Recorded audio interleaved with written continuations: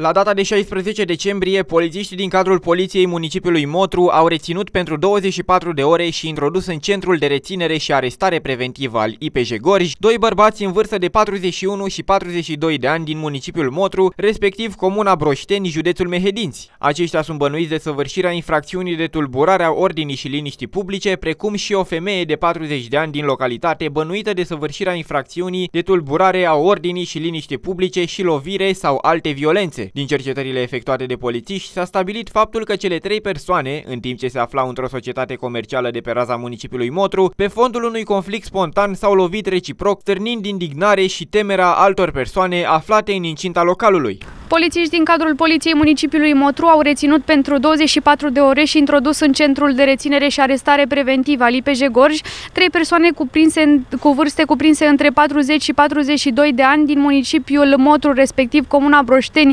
județul Mehedinți, toți bănuiți de săvârșirea infracțiunilor de tulburarea ordinii și liniștii publice și lovire sau alte violențe. În cursul zilei de astăzi, persoanele urmează a fi prezentate procurorilor din cadrul parchetului de pe lângă judecătorii Maria Motru cu propuneri corespunzătoare. Astăzi, cele trei persoane urmează să fie prezentate procurorilor din cadrul parchetului de pe lângă judecătoria Motru cu propuneri legale.